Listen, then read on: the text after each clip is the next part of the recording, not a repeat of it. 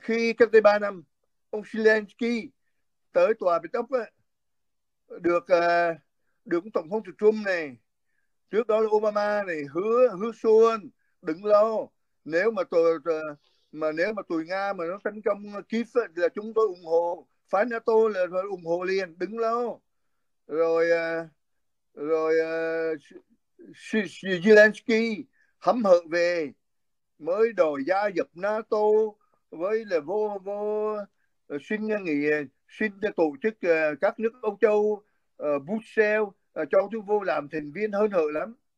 Nhưng mà không biết rằng, nhưng mà không biết rằng Hoa Kỳ đã bỏ Việt Nam Cộng Hòa. Đã đã bỏ đã bỏ Afghanistan vừa qua. Cái chính sách của Mỹ cũng phải như như cái, như các nước khác. Việt Nam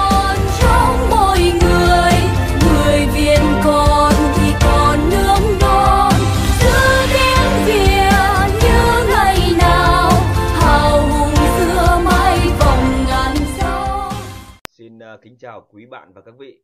Ngày hôm nay tôi ờ, lại ờ, quay trở lại với anh Hoành Linh Giang ở bên Hoa Kỳ. À, từ Hà Nội xin gửi lời chào tới anh Hoành Linh Giang và kính chúc anh luôn luôn mạnh khỏe bên gia đình. À, xin mời anh gửi lời chào tới khán giả của Thăng Long TV lâu quá rồi anh chưa quay trở lại ạ. Xin mời anh ạ. Xin uh, kính chào uh, quý thính giả. Xin uh, xin uh, kính chào anh uh, bạn trẻ. Minh Tiến giám đốc đài à, Thăng Long TV à, Hà Nội.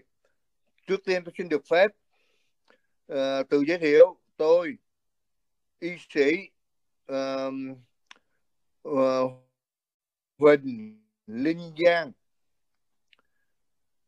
Uh, trước đây tại Việt Nam tôi làm nghề thầy thuốc và giáo viên và định cư tại nước Mỹ được 32 năm nay hiện ở uh, thành phố Houston, Texas.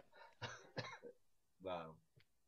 Năm nay uh, năm nay là được 69 tuổi quê uh, Lệ Thủy An Xá Quảng Bình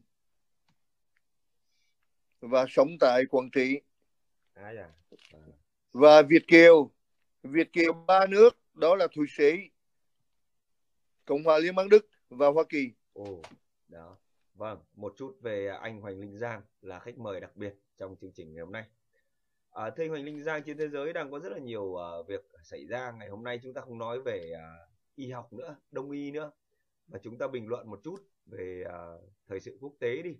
Thì anh có thể uh, chọn một trong hai chủ đề. Đó là một là chủ đề rất là nóng giữa nga và ukraine hai là chủ đề liên quan đến trung quốc và đài loan. Thì uh, anh hoành linh giang sẽ chọn chủ đề nào để uh, chia sẻ cùng quý vị khán giả tôi thấy hiện nay hai chủ đề đều nóng hết. À. đều đều đang rất là, là nóng. Trong cái uh, trong khi tiến trình ờ, toàn cầu hóa domino mà đồng chỗ này là tất nhiên đồng chỗ kia đồng chỗ kia tức là đồng chỗ nọ mà trước mắt là đang nóng hổi đó là uh, hiện tình khủng hoảng giữa uh, Moscow và Kiev. Vâng. À, thưa anh rằng anh uh, có thể cho biết rằng là cái nguyên nhân sâu xa nào dẫn đến cái hiện tình ngày hôm nay giữa Nga và Ukraine không anh? anh uh, theo góc nhìn riêng cá nhân của anh trước khi nói nguyên nhân thì à, chúng ta phải à, phải à, đi từ đầu phải là đi từ đầu cái cái vấn đề um, địa chính trị cũng như history lịch sử của Ukraine tôi xin tóm tắt được khoảng 5 ba phút về cái lịch sử Ukraine cũng như địa chính trị của đất nước uh, Đông Âu này. Ukraine người Nga người ta đọc là Ukraina, Ukraina.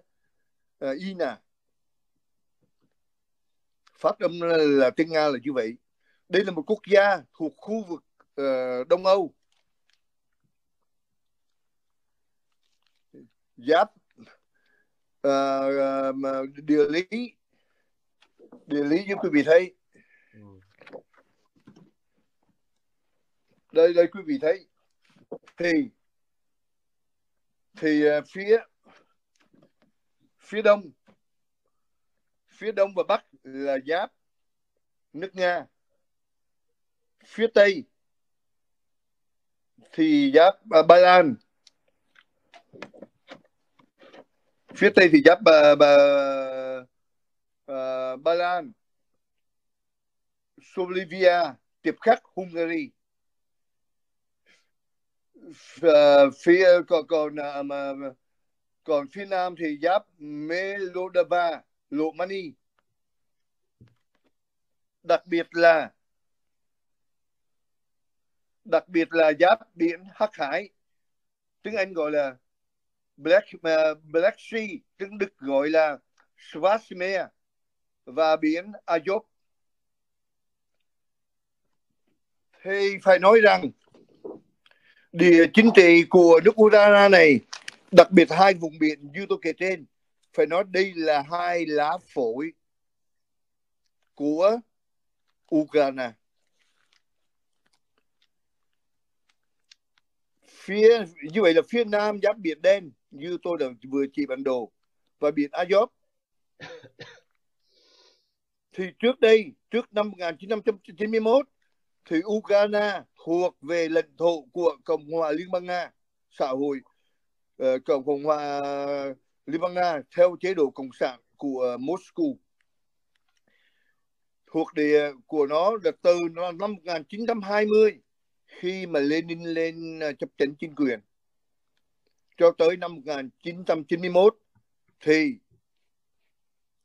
uh, dưới quyền lãnh đạo của Tổng bí thư Đảng Cộng sản Liên Xô Gorbachev thì thành trì của xã chủ nghĩa ờ, Đông Âu nước Nga đã bị sụp đổ.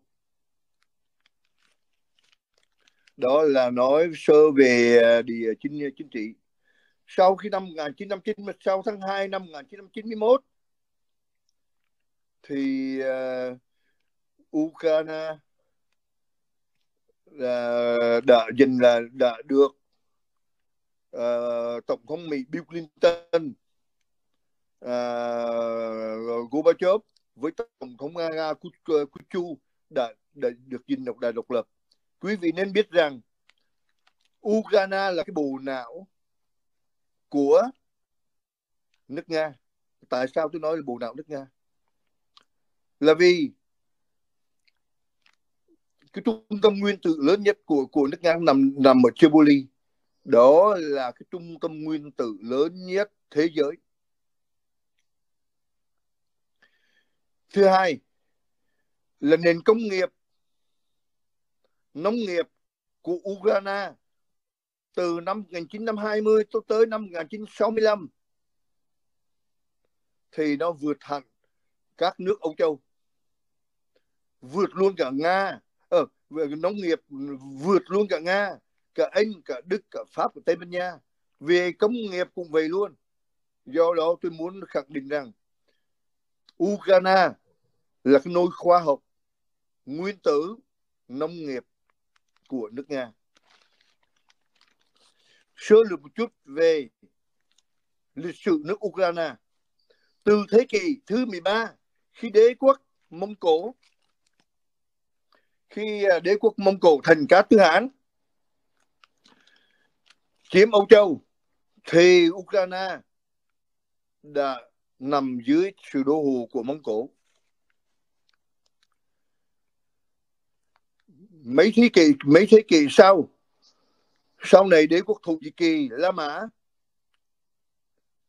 chế ngự Ukraine. Và từ đó Ukraine đã bị phân chia nhiều nhiều nhiều nước cho tới sau thế chiến thứ hai cho tới xin lỗi cho tới khi mà cộng sản là Lenin uh, Liên Xô lấy lấy cả Đông Âu thì Corona đã nằm gọn trong thế lực của Liên bang Cộng hòa Xô Viết cho tới năm cho tới tháng 2 năm 1991.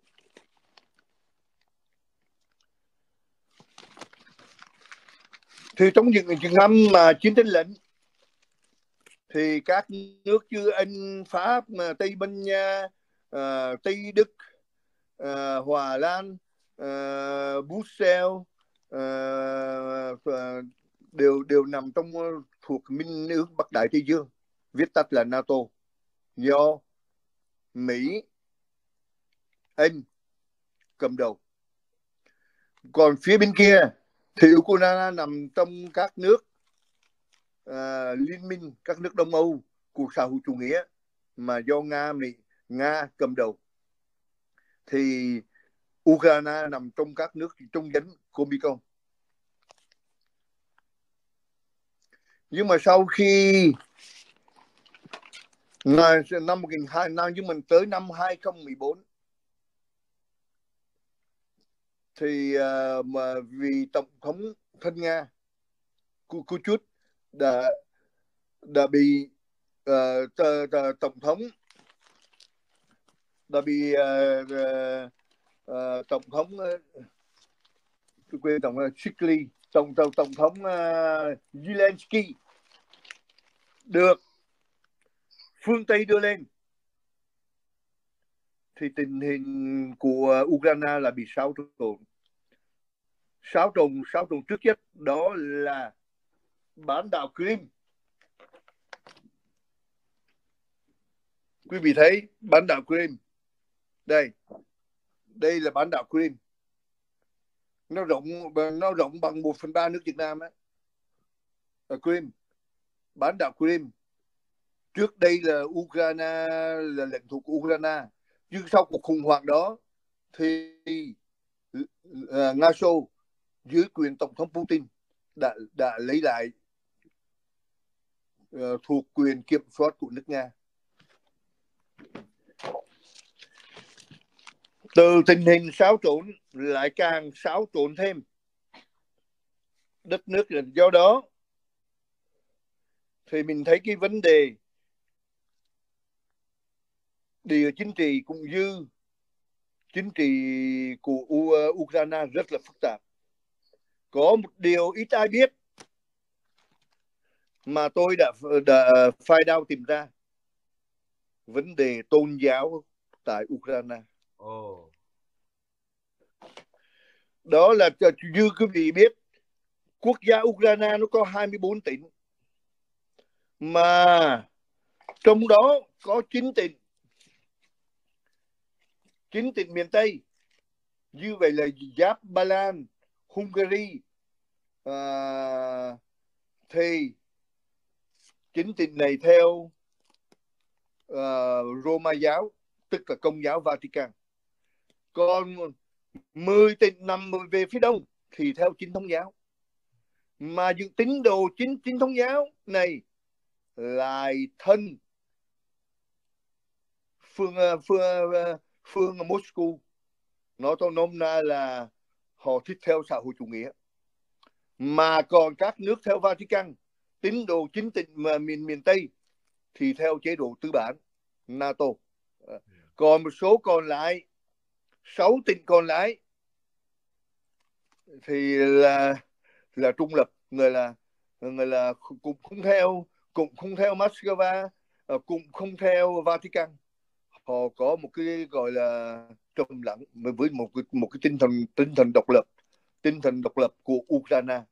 Do đó cái chính trị của của của Ukraine rất là phức tạp. Rồi bây giờ vừa như vừa rồi ông giám đốc ờ, đài uh, ờ, TV Hà Nội uh, có hỏi tôi cái nguyên nhân. À cái nguyên nhân. Thì nguyên nhân sâu xa đó của tình hình hiện nay mà khủng hoảng hiện nay đó là nguyên nhân của lịch, lịch sử. À. mà mà cái nguyên nhân này chính do Mỹ dựng lên khi hạ bệ tổng thống Kuchut để đưa Zelensky lên. Các nước phương Tây đã đưa tổng thống đương nhiệm là Zelensky lên làm tổng thống. Năm, đó là năm 2014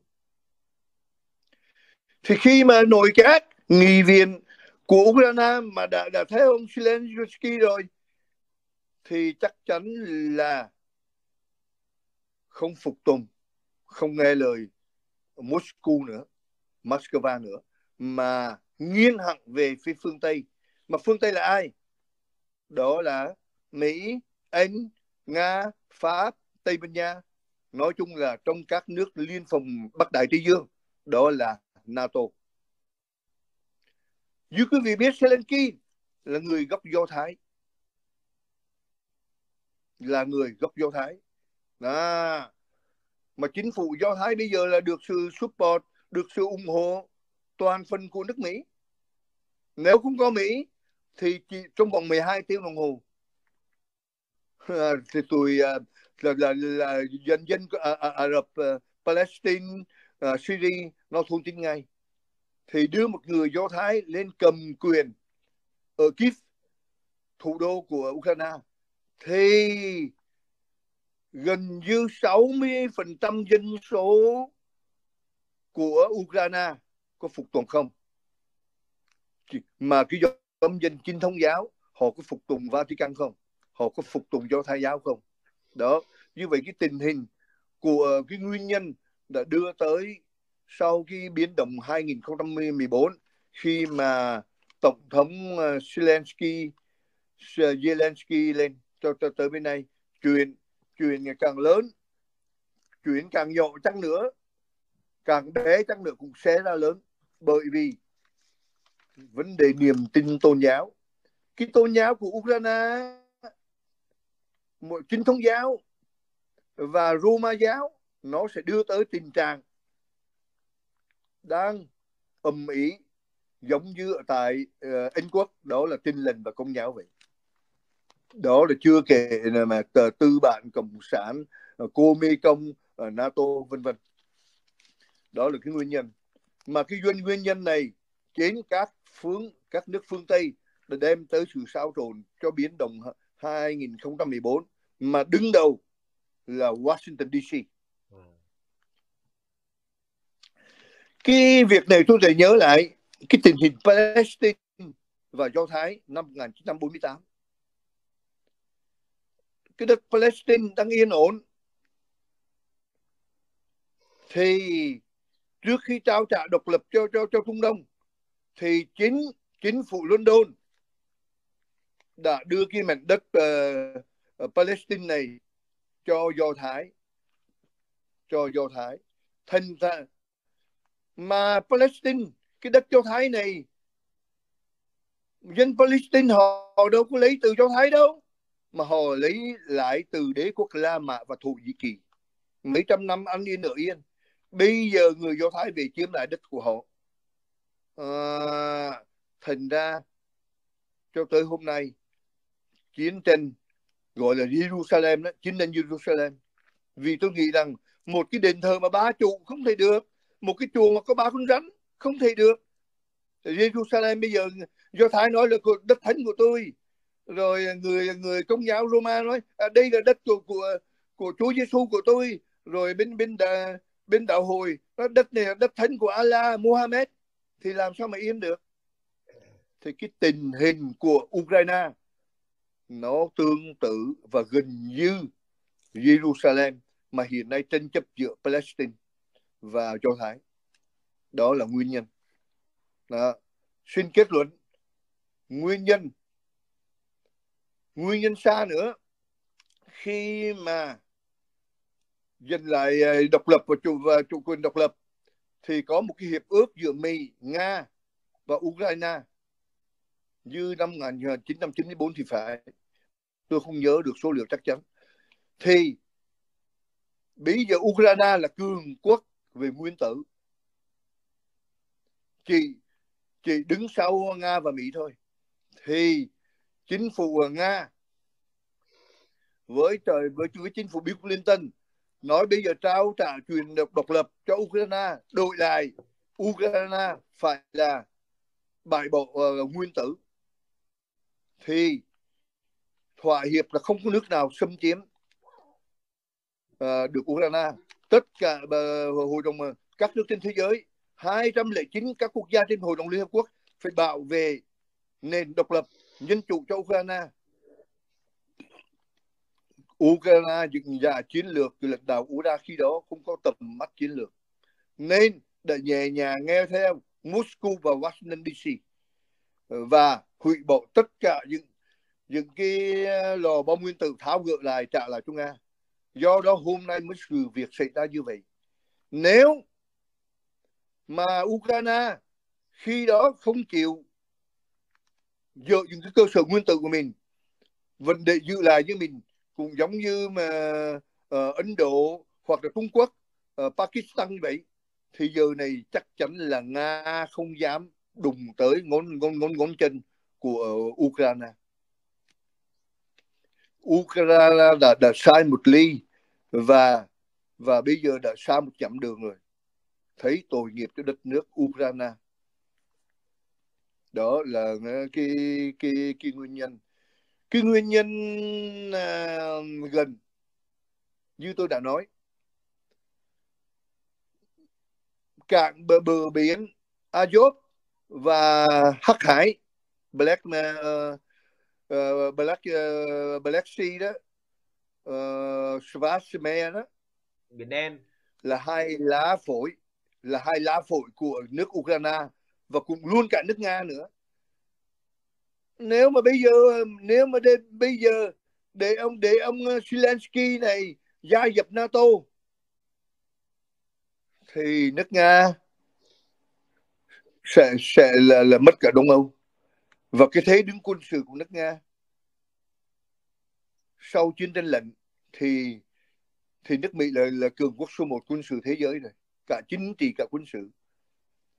Nhưng mà bây giờ mà để nếu mà để mất mất hai cái bùng phổi hai cái lá phổi mất cả Ukraine thì xem như nước Nga coi như là là là làm sao mà thở được.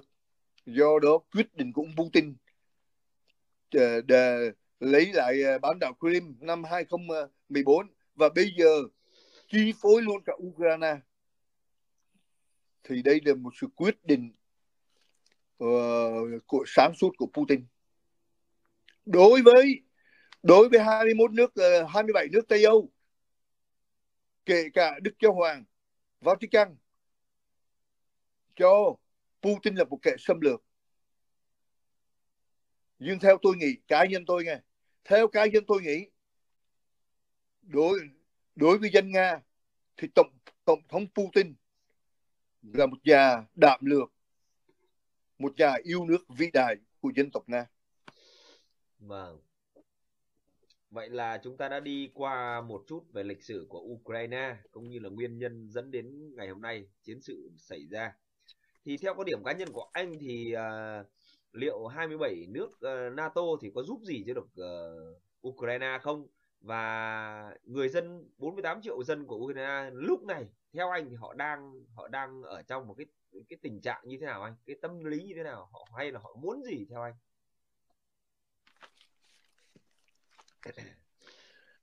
Hiện nay bảy nước Tây Âu. Hiện nay 27 nước ờ, Tây Âu đang ủng hộ Ukraine. Mà mà trong đó vừa qua cách đây mấy tiếng đồng hồ thì tôi thấy Hòa Lan. Tiếp khách à. ý. Tổng thống uh, uh, Olaf Johnson. Chuẩn bị đem chiến cụ giúp chiến cụ giúp uh, Ukraine. Tôi thấy cái quyết định của Hòa Lan tiếp khách. Anh đây là một quyết định khá phi nhiễn anh bật camera khá phi nhiễn anh Huỳnh Minh à, Huỳnh Minh Giang anh bật camera này. rồi được rồi. Khá đây là một quyết định khá phi phi nhiễn thiếu sót mà trước mà tôi thấy tuyên bố của của tổng thống Biden và tổng thống Macron nước Pháp rất là sáng suốt. Nước Mỹ không bao không bao giờ đem quân tới Ukraine. Chỉ giúp đỡ tường trưng vấn đề chính cụ tại sao? Tại vì Ukraine đâu phải là, là thành viên của NATO đâu mà đem quân tới giúp còn nước Pháp vẫn không giúp chiến cụ cùng như cùng như là người mà nước Pháp đang đứng ra trọng tài hòa giải giữa giữa Kiev và, và Moscow. Thành ra tiếng Việt Nam chúng ta có câu là uh, bịt bịt gạo đừng thóc. Tiếng Việt Nam mình có câu ông bà để là bịt gạo đừng thóc. Nhưng mà bịt bịt bịch bịt bịt bịt tốt mới đừng thóc nhé. Bịt rết bịt bịt bịt thủng mà đừng thóc nó tụt luôn hết. Bây giờ cái cái cái cái bịt cái bịt gạo của của kiếp Ukraine nó rách nát rồi còn gì nữa mà mà mà đừng thấp. Thì quyết định của Đức Hòa Lan à, Ý à, Anh à, tiếp khác thì giúp giúp cho Ukraine là cái việc mũi bỏ bể. Phải bắt chước Hoa Kỳ và và và, và Pháp. Tôi nghĩ là bây giờ uh, Ờ, uh, ngoài trưởng Blinsky ngoài trưởng ờ, Pháp à, ngoài trưởng uh, của của Mỹ và ngoài trưởng của Pháp đang đi đêm với với với với với Putin. Và chắc chắn là anh anh và Mỹ uh, Pháp ba nước lớn của của thành viên minh nước Bắc Đại Tây Dương là tôi không bao giờ đem quân tới tới Ukraine. Thì cái việc cái chuyện mà Đức chắc này Hòa Lan này Tập Khắc này uh, ba uh, Đức ờ, giúp giúp ờ, giờ chiến cụ vũ khí, đấy là một cái việc làm ờ, vô vọng. Không có hy vọng gì hết. Không có hy vọng. Thì cái giúp cho Ukraine là không được, không nên. Và cái cách sáng suốt nhất để đem lại vạn hồi trật tự cho hòa hòa bình cho Ukraine, đây là chính tổng tổng thống Mỹ nên đi đêm với ông Putin để nhàn xếp cho vấn đề vấn đề ờ, khủng hoảng Ukraine và và Nga Xô. À, tức là theo quan điểm của anh là cái giải pháp là ông uh, Biden đi đêm với cả ông uh, Putin à, để dàn xếp cái vấn đề này để người dân được đúng vậy hưởng trong uh, sự hòa bình và chấm dứt chiến tranh sớm. Vâng. À, thế bây giờ nếu như nhá trong một cái trường hợp giả định là anh là một uh, uh, lãnh đạo ở Việt Nam đi thì thái độ của anh như thế nào cũng như là là cái suy nghĩ của anh như thế nào về cái cuộc chiến này Ồ, câu hỏi của anh câu hỏi của anh nó nó nằm nó không nằm trong phạm trù của sự thể. Tại vì tôi là là y sĩ. Vâng. à, ăn rồi lo ba cái thuốc men thôi. Không hiểu biết về gì về nhiều về chính trị chính em hết. Và là tôi cũng à, tôi cũng không có cảm tình về cái môn chính trị học. Mặc dù cái vùng đất của tôi là sản sinh ra một ngô tổng thống này ờ, một võ đại tướng này một phó thủ tướng huỳnh linh độ màu này của một uh, của một người đã từng làm rung rinh nước mỹ đó là hòa thượng trí quang này. Nhưng mà tôi không có thích về chính trị. Tôi chỉ thích đi học thôi. Nhưng mà hôm đưa hôm nay là anh đưa tôi đưa qua một cái phạm trù lớn quá thì tôi cũng cố gắng trả lời. Nếu tôi mà già lãnh đạo Việt Nam á hiện nay á thì tôi sẽ tới tòa đại sứ Ukraine ở Hà Nội. Xin được uh, tiếp kiến với bà uh, quyền đại sứ Ukraine tại Việt Nam. Và cho tôi được uh, có một cái điện thoại đường dây nóng với uh, tổng thống đương kim tổng thống uh, uh, Zelensky. Zelensky. Để tôi nói chuyện. Uh, Zelensky Zelensky Zelensky và đồng thời tôi cũng năn nỉ uh, tòa đại sứ của của Nga tại uh, Hà Nội cho tôi nói chuyện với với ông uh, Vladimir Putin luôn. À. Tôi sẽ nói gì? À, tôi sẽ nói gì? Tôi sẽ nói về, về Kiev là như vậy. Bây giờ tôn bên Đông Phương chúng tôi có một nhà quân sự thiên tài mà hiện nay trường đại học quân sự uh, uh, West Point của Hoa Kỳ cũng phải học nữa. Đó là ông tôn tử. Đó là câu nói bất thù của giờ của nhà chiến lược của thiên tài quân sự thế giới. Mà mà sau này chính uh, võ đại tướng uh, võ đại tướng của Việt Nam đã đã đã đã đã, đã học hỏi theo. Giờ đó cuộc chiến thắng uh, giành độc lập thống nhất đất nước của Việt Nam đã thành công. Đó là câu nói của tôn tử. Biết mình biết ta. Trăm trận trăm thắng. Ông Zelensky thì vì biết mình mà không biết biết ta mà không biết mình. Khi cách đây ba năm ông Zelensky tới tòa bị tóc được ờ, được tổng thống Trump này trước đó là Obama này hứa hứa xuân đừng lo. Nếu mà tôi mà nếu mà tụi Nga mà nó tấn công Kiev là chúng tôi ủng hộ. Phái NATO là ủng hộ liền đứng lo.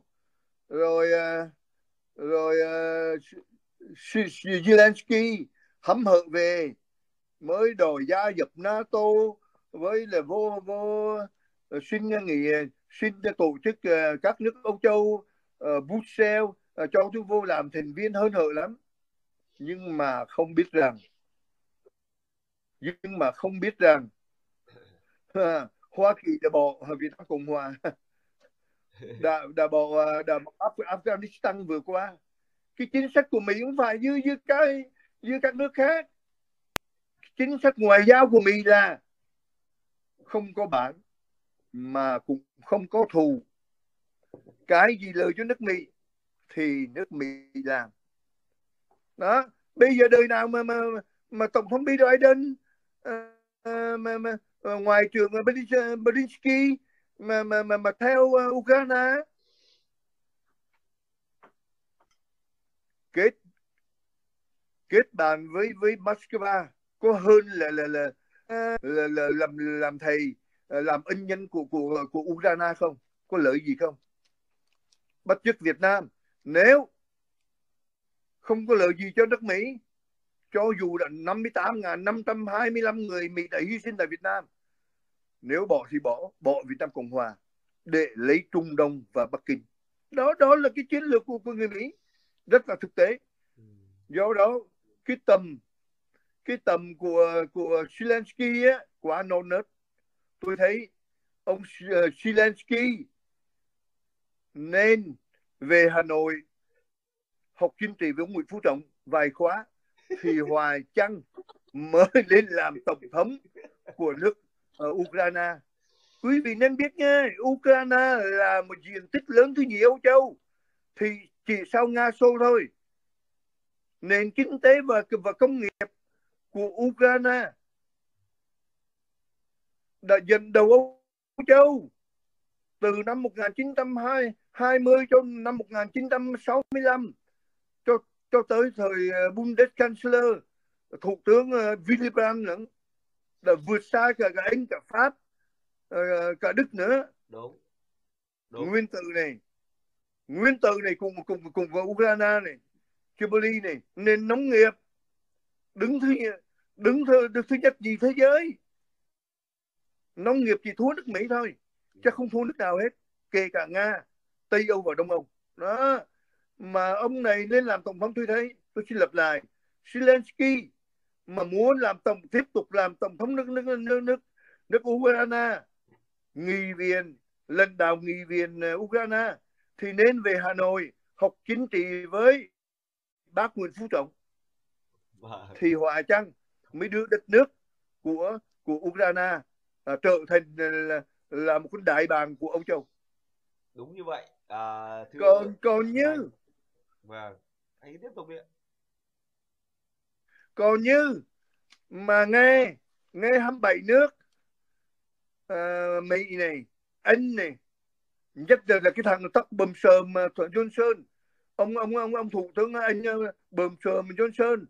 Đây là đây là cái cái, cái, cái là con hồ giấy không làm được trò trong gì hết á trong lúc đất nước uh, Ukraine vậy mà bây giờ uh, viện trợ mấy chiếc máy bay để đi do thám thì làm được cái gì? Chỉ là vọ mồm. Còn thủ tướng uh, ô ô lạp sốt tân thủ tướng của nước Đức ông này chả làm gì được.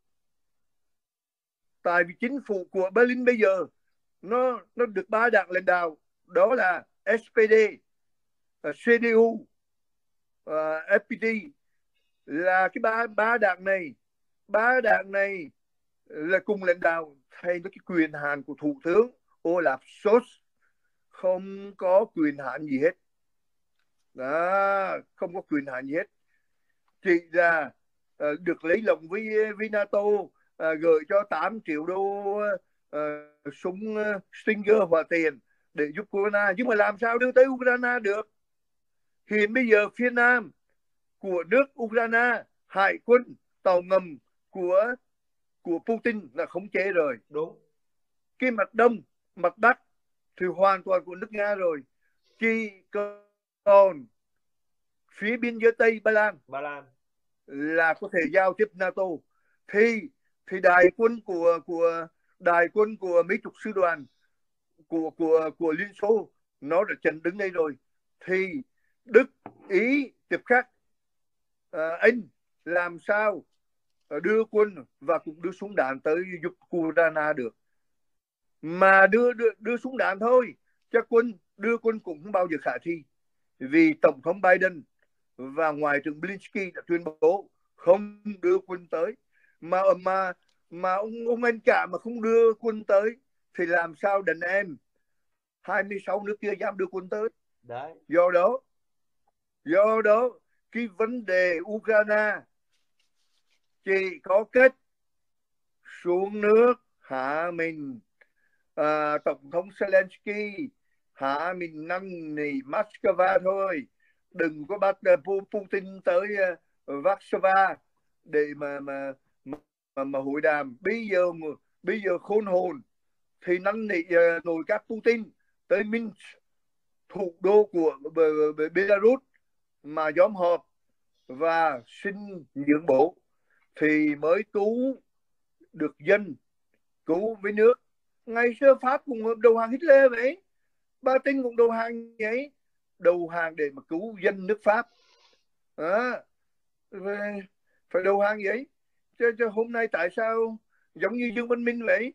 Cũng phải đầu hàng uh, chính phủ cách mạng lâm thời Cộng hòa miền Nam Việt Nam mặt trận giải phóng để cứu lấy 3 triệu dân Sài Gòn.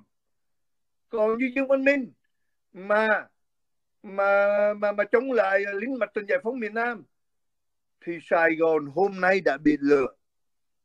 Đúng rồi Zelensky nên bắt trước tổng thống Pháp năm 1940 và Paten và nên bắt trước Dương Văn Minh.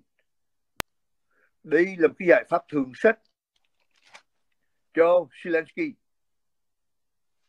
theo anh thì uh, ông ấy nên là đầu hàng theo kiểu của Dương Văn Minh hay là ông ấy bỏ trốn uh, kiểu ông Thiệu đi máy bay sang Ba Lan xong là đi Mỹ tị nạn xong là là là ăn sung mặc sướng ở bên Mỹ? Ông sẽ chọn phương án nào? Giờ đây Zelensky không chọn được phương pháp nào hết không chọn phương án nào hết. Cái việc Ukraine hiện nay theo cá nhân tôi nghĩ người quyết định cho Ukraine đó là tổng thống Biden và tổng thống Putin à. Washington DC và và và và Moscow. Dạ. Vâng. Tại vì Zelensky, Zelensky bây giờ tất cả những cái hệ thống quân sự, những cái radar, ờ, cả, cả bầu trời, cả bầy biển, cả cả trên đường bộ đường không đang bị quân đội Nga kiểm soát tới 80% rồi. Không còn gì để mà uh, không còn gì để bằng là thương thuyết nữa. Bây giờ phải phải dùng hai từ đầu hàng. Đầu hàng mới mới đúng cách thì mới cứu vãn được tình hình. Tại vì đừng trông chờ NATO. NATO không giải khờ gì mà đem quân tới đây chết thế cho dân Ukraine. Vâng à, trong lúc này à, khi mà à, chúng tôi đang thu hình thì tôi nhận được cái tin là à, Ukraine đã đồng ý uh, đàm phán hòa bình tại uh, Belarus. À, đấy là cái thông tin mới nhất. Mình và phái đoàn à, đúng của... đúng đó đó là tôi dự định cách đây 3 phút vâng. phải tới Minsk Belarus mà mà mà mà mà, mà hội đàm. Nhưng Zelensky nhưng vì thể diện quốc gia vì danh dự dân tộc vì uy tín trước hội đồng bào an liên hiệp quốc tôi nghĩ tổng thống Putin không đi quá ngưỡng. Nghĩa là chính phủ Putin không bao giờ chiếm đất của Ukraine. Em cũng nghĩ thế. Chính phủ chính phủ uh, Putin không muốn giết dân ở, ở Ukraine. Tại vì hết 75% dân số Ukraine là nói tiếng Nga rồi. Thì đời nào ông Putin mà mà muốn hại Ukraine? Do đó tôi nghĩ ông ông Putin muốn Zelensky quy phục chứ không cần phải quy hàng. À. quy phục cho phải quy hàng. Như vậy có nghĩa là ông Zelensky phải cam kết với Moscow là chấm dứt ý định sáp nhập NATO. Sáp nhập NATO. Vì sáp nhập NATO thì sẽ đe dọa cho cái nền an ninh của Liên Xô. Giống như vừa rồi, Bộ trưởng Bộ Ngoại giao Vương Nghị đã tuyên bố tại uh, tại sân vận động uh, Olympic uh, tổ chim uh, Munich. Cái vấn đề bảo vệ an ninh quốc gia thì nước nào cũng có quyền đưa ra hết. Đưa ra hết. Nhưng nhưng theo tôi nghĩ cái tuyên bố của ông Vương Nghị là khách quan. Nhưng mà tôi nghĩ Trung Quốc không khách quan đâu. Khúc, trong cái thế cờ này Trung Quốc không bao giờ uh, khách quan được. Phải đứng về một phía. Phía nào thì quý vị đã biết rồi. Khả thi hợp tình hợp lý cho dân rồi. Ukraine hiện nay để tránh khỏi đổ máu và à, vãn hồi cái trật tự ở Đông Âu tức là lập lại trật tự ở Đông Âu. Đấy theo anh cái quan điểm cá nhân của anh thì cái giải pháp như thế nào? Theo tôi á thì Ukraine phải trở thành một nước trung lập. Trung lập theo kiểu mô hình mẫu của nước Phần Lan. Nước Phần Lan nó nằm giữa ờ, Thụy Điển và Nga Xô đó ở Bắc Âu đó. Có nghĩa là vẫn tham gia kinh tế thị trường Tây Âu. Tại vì tại vì kinh tế thị trường Tây Âu, tại vì kinh tế thị trường của Tây Âu là nó gấp 10 lần của của Moscow nữa. Nước Nga kinh tế thị trường không bằng Tây Âu được. Cho nên phải phải trung lập và cùng đi theo theo theo cái kinh tế uh, kinh tế của Tây Âu. Tuy nhiên vấn đề chính trị và quân sự là phải nên trung lập. Tại vì chúng chúng chúng chúng ta biết cái tiềm năng quân sự của Nga Xô hiện nay không thua Mỹ. Phải nói là không thua Mỹ. Năm 2014 trước trước vấn đề, trước thượng viện Hoa Kỳ, chủ tịch ủy ban thượng viện quốc phòng, tôi quên tên rồi, lâu quá rồi chín bảy năm tôi quên rồi. Chính ủy ban thượng, quân sự thượng viện Hoa Kỳ đã tuyên bố hiện nay Nga Xô có tên lửa siêu siêu lục địa siêu liên thanh mà nước Mỹ chưa có màn chắn nào cản trở nổi. Đó đó là chưa kể giữa NATO và và và phía uh, cộng sản Đông Âu đã chạm trán ở Kosovo. Mà kết cuộc kết cuộc mà là, là năm hai Ờ, hai hai lịch chín hai nghìn mười bốn gì tôi quên rồi. Thì về phần thắng đã trợ đã, đã, đã, đã thắng ờ, trợ cho nước nga. Đó. Thì lực lượng quân sự của hai bên đã, đã, đã so gần nhau rồi. Thì nước mỹ thừa biết cái tiềm năng tiềm ẩn của nước nga như thế nào rồi. Đó.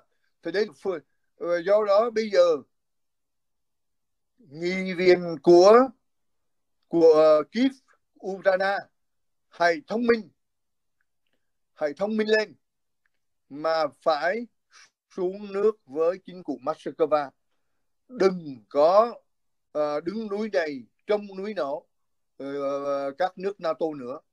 Thì hòa bình sẽ vạn hồi cho Ukraine. Giống như Phần Lan đó là quốc gia chính thức trong những năm chiến tranh lệnh là không có theo Comecon mà thẳng cũng theo NATO mà họ vẫn giữ, giữ được dân chủ và độc lập có chủ quyền. Cùng như điều này có lẽ hợp tình hợp lý với Ukraine hơn sẽ tránh đụng độ chiến tranh. Về lý thuyết đáp ứng được nguyện vọng của nội các tổng thống Vladimir Putin về việc Ukraine không gia nhập NATO nữa. Ukraine không gia nhập NATO nữa. Đó, đó là theo ý ý ý kiến của tôi để mà mà mà mà, mà góp ý cho chính phủ chính phủ Kiev. Nhưng mà nói thì nói trong lúc này 48 triệu dân Ukraine không có quyền hành gì hết, không có quyền hạn gì hết. Bàn cờ này đã do ờ, Putin và và tổng thống ờ, Hoa Kỳ Biden uh, Biden quyết định thôi. Hữu vi phải có vô vi vật chất phải có tinh thần. Tóm lại Ukraine phải phải nghe lời Nga. Theo Nga và và theo theo theo cả NATO. Người là người là trung lập theo cả hai bên luôn. Bỏ một bên, lấy bên này cũng được, theo nga bỏ mỹ cũng được. Mà theo mỹ bỏ nga lại càng không được. Vì hiện nay, tiềm lực của nước nga rất là mạnh. Nói về vô vi, nga nắm giữ hai bán cầu trái phải của trái đất lá cờ nga tượng trưng cho từng sống nào của trái đất. Do đó, Nga lãnh đạo về khoa học, nguyên tử, trí tuệ đều đang nằm ở nước Nga. Đồng ý Mỹ, Đức, Anh cùng là là là là là, là, là, là cái bộ nào của thế giới nhưng so với Nga thì Mỹ chưa chắc đã vượt Nga Và một có một điều chúng ta nên biết rằng Nga hôm nay có sự hỗ trợ của Trung Quốc nữa. Vì Trung Quốc là cái miệng của trái đất. Chỉ có Việt Nam là trái tim của thế giới. À, chưa ai dám đụng tới Việt Nam thôi. Vì trái tim mà chết thì cả thế giới ngùng bù tội. À. Chết theo. Do đó đứng theo vô vi thì cả thế giới đặc biệt Âu Châu hãy nên nghe theo lời Nga và Hội đồng Bảo an Liên Hợp Quốc nên mở một con đường dân chủ độc lập trung lập cho Ukraine. Như vậy, kinh tế Âu Châu sẽ đi lên. Nước Nga, nước Mỹ khỏi phải tốn tiền bạc và xương máu. Điều hưởng lợi trong đó có cả Việt Nam của chúng ta. Vậy, rồi đây đây nói riêng với bộ túc cho cho cho cho cho chính phủ Việt Nam. Nếu tôi là lãnh đạo quốc gia Việt Nam thì tôi đây là những việc tôi làm cho cho những người ngày hôm nay cấp thiết. Đó là tôi sẽ dẫn 10.000 công nhân Ukraine sang tị nạn uh, chiến tranh tại Việt Nam. 10.000 đó tôi lấy ờ, toàn là kỹ sư, khoa học gia trong lĩnh vực nguyên tử, dầu khí, uh, dầu khí, vũ khí quốc phòng, uh, khoa học, uh, nông nghiệp. Như vậy chúng ta sẽ có chất xám. Như quý vị biết, các nhà lãnh đạo Việt Nam hiện nay cùng với Tổng Bí thư Nông Đức Mạnh đều tốt nghiệp ở Ukraine. Người Việt Nam giàu nhất hiện nay đó là ông Phạm Việt Vương cũng là nhờ thủ đô Kiev, Ukraine mà có tỷ người Việt lớn giàu nhất Việt Nam hiện nay. Đó. Đưa những người, đưa 10.000 công nhân của của của Ukraine sang Việt Nam với bà con ruột thịt của họ Việt Nam chúng ta dường cơm xẻ áo cho Ukraine cũng là mình cũng là một hình thức đền ơn đáp nghĩa đồng thời, Việt Nam chúng ta khi mà có những cái chuyên viên Ukraine tới Hà Nội tới Việt Nam thì không bao lâu Việt Nam sẽ là con rồng của Á Châu đó đó là xin nếu tôi là trong hàng lãnh đạo của uh, Bộ Chính trị dạ. Đó. nên uh, cảm ơn những ý kiến đóng góp của anh vâng đây là một ý kiến cá nhân đóng góp của anh uh, Huỳnh Linh Giang từ Houston, Texas, Hoa Kỳ. Vâng, chúng ta sẽ uh, dừng cái livestream ngày hôm nay ở đây. Chúng ta đã đi qua hơn 50 phút và kính chúc anh có nhiều sức khỏe để tiếp tục có những chương trình tiếp theo với Thăng Long TV. Xin chào tạm biệt anh và xin mời dạ, anh xin chào.